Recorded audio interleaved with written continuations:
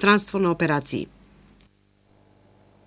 Несвесни за последиците, се повеќе малолетници поставуваат разголени фотографии на социјалните мрежи. Повеќе од 750.000 педофили демнеат на интернет. Од Мегеши предупредуваат дека годинава биле пријавени само два случаи на злоупотреба на малолетници, но вистинската бројка е многу поголема.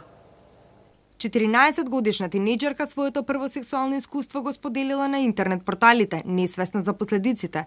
Злоупотребени фотографии од летување на разголени дечиња од 7 и 8 годишна возраст.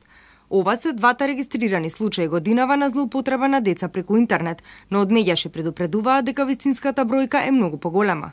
Борбата против интернет насилството е во едукацијата. Медјаши промовираше филм со порака за ризиците од објавувањето на несоодветни содржини. Овој филм е дел од планот на владата во Австралија за борба против онлайн ризиците.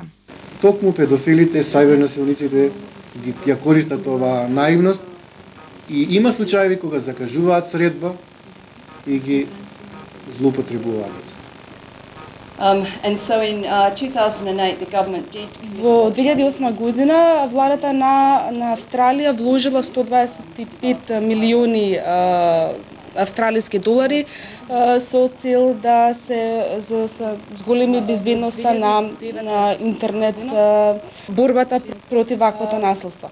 Повеќе од 750.000 педофили да демнеат на интернет. На околу 4 милиони страници има фотографии од сексуално злоупотребени деца. Стотина илјади малолетници се жртви на онлайн грабливци кои сработуваат меѓу себе. Ретко некој може да се справи со овој криминален бизнис во кој се врта 20 милиарди долари годишно.